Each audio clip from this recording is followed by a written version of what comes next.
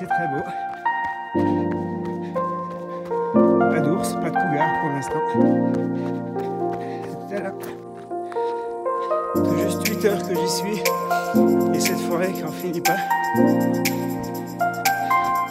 pas vu un être humain depuis au moins une demi-heure.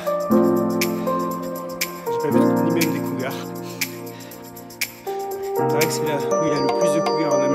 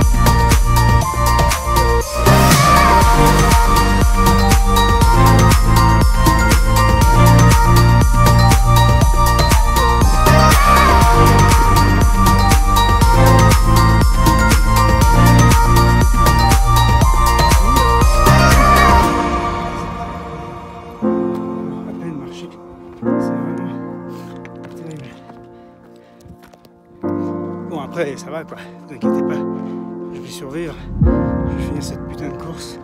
Mais j'en aurais chié. Le clou du spectacle, c'est la montée